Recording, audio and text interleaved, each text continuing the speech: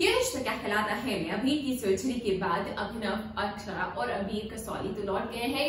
अबीर की रिक्वेस्ट के बाद, लेकिन अब अभिमन्यु भी कसौली पहुँचते नज़र आने वाले हैं। जी हाँ बिल्कुल सही सुना जहाँ पर अभिमन्यु का अक्षरा और अभिनव से कॉन्ट्रैक्ट नहीं हो रहा होगा, जहाँ पर वो बुलाना चाह रहे हैं अबीर को उसी वक्त, वहीं पर हम देखने वाले हैं कि अभिनव और अक्षरा मिलकर फावर से एक नई शुरुआत करते नज़र आने वाले हैं। अपना एक नई बिज़नेस ओपन करते नज़र आने वाले हैं। कसौली में और और वो होगा होम स्टे का बिज़नेस जहाँ पर उनको इस होम स्टे के बिज़नेस के लिए पहला कस्टमर भी मिलता नज़र आने वाला। और पहला कस्टमर निकलने वाले हैं अभी के डॉक्यूमेंट यानी कि अभी अभिमन्यु अक्षर अभिनव इस तरह अपने घर आए मेहमान और अपने बिज़नेस के पहले कस्टमर को अवॉइड तो नहीं कर सकते हैं। तो इस तरह से जब आप अभिमानियों का वेलकम करेंगे, वो होम स्टे में, यानी कि अपने बिज़नेस के पहले कस्टमर की तरह तब, अब देखने वाली बात ये होगी फैंस की, क्या अभिमन्यु हमेशा हमेशा के लिए अभिनव और अक्षरा के साथ कसौली ही रुक जाएँगे?